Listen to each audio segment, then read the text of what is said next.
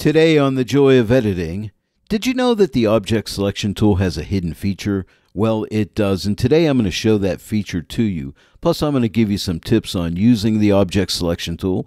So sit back, relax, grab a cup of coffee or beverage of choice, and stay tuned.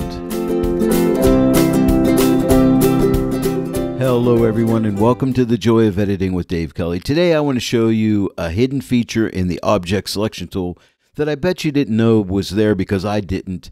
Tony Kuyper recently emailed me and he turned me on to this, and I want to share it with all of my audience out there. I think you're going to like it. Plus, I also have some tips for you when using the Object Selection tool and also using the Object Selection tool combined with just a regular selection in Photoshop. It'll be quite interesting and I think it'll really help speed up your workflow. So let me show you. Now there's many different reasons you may want to use an object selection tool or any selection tool for that matter.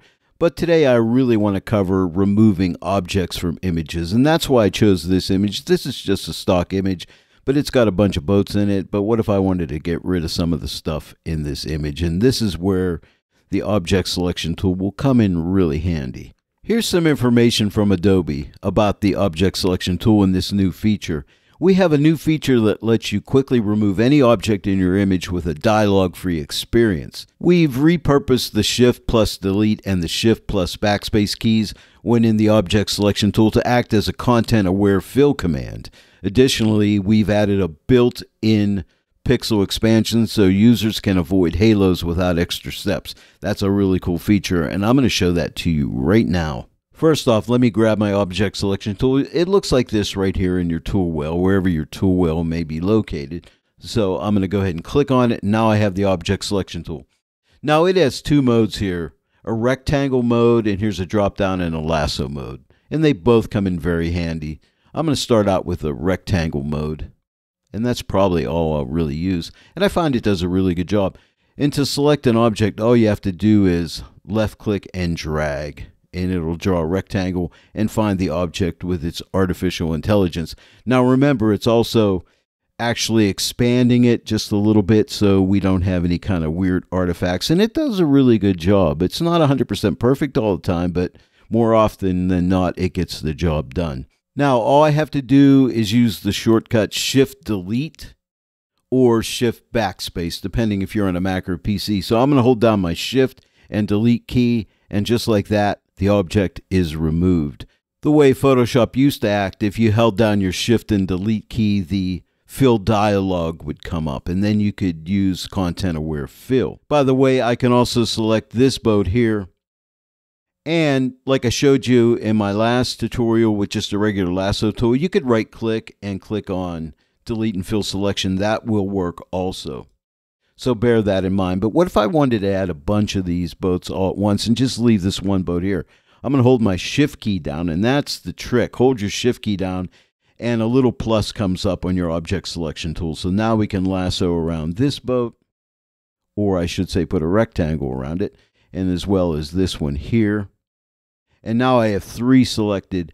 And so now I could either right click and delete and fill selection, or I could just do a shift delete. So that's basically, think about it, is basically one click. I'm actually using two fingers though.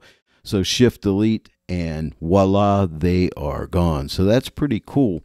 I went ahead and brought all my objects back because I'm going to show you a tip now when you're using the object selection tool combined with just say like a lasso tool because sometimes the object selection tool is not the right way to go. For instance, if I wanted to select this cloud up here, and if I put a rectangle around here, we'll see what kind of a job it does. See, it doesn't do a really good job there. So I'm going to type L to get my lasso tool. And now with the lasso tool, I'm just going to lasso around this cloud right here. And then I'll go back to the object selection tool. So click on the object selection tool and I'll hold the shift key down to add to the selection.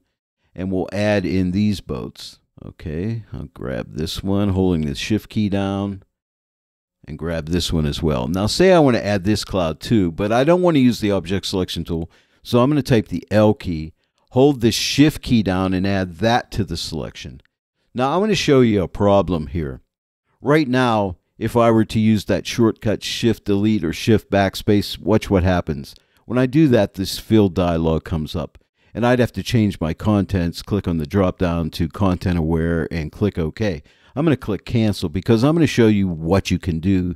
This is a workaround. All you have to do when you're combining object selection tool with any other selection tool is just go back to the object selection tool so you can use that shortcut. And now we can use shift, delete, and get rid of everything all at one go, just like that. So that's pretty cool and it's pretty fast. Now let me show you what else you can do. Let me step back a step. So let me go into my history and go back where I had everything selected.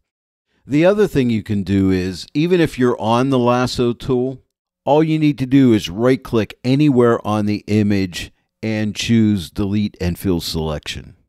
And it'll do it that way as well. So that's fast too. If you want to use shift delete, you'll have to go back to the object selection tool or just right click anywhere inside of the image and choose delete and fill selection.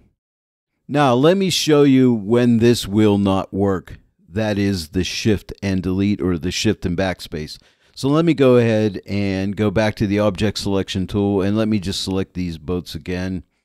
Hold my shift key down and drag around here. We'll get this one. And let's go ahead and get this one as well.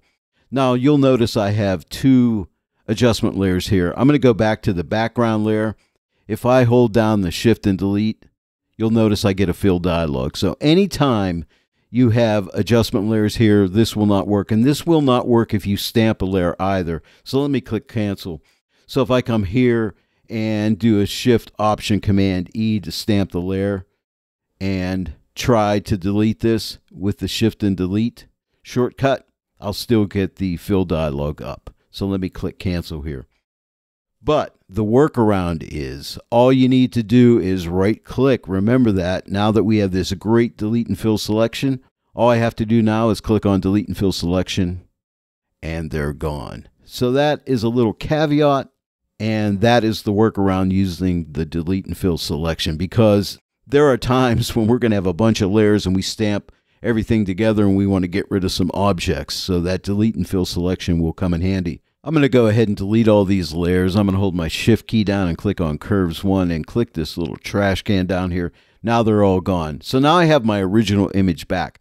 And so shift delete or shift backspace, that shortcut will only work if you have one pixel layer. If you have more than one layer, you're going to have to right click inside a selection and use delete and fill selection, which is not a problem. So if it's just one layer, shift delete, or shift backspace will do the job. If you have more than one layer, all you need to do is right click on the image itself and choose delete and fill selection and you will be good to go.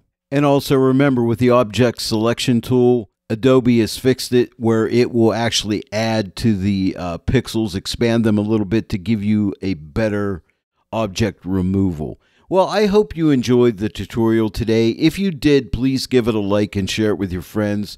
And if you're not yet a subscriber to this channel, please subscribe and click that bell notification icon. Every time I upload a new tutorial, you'll get notified.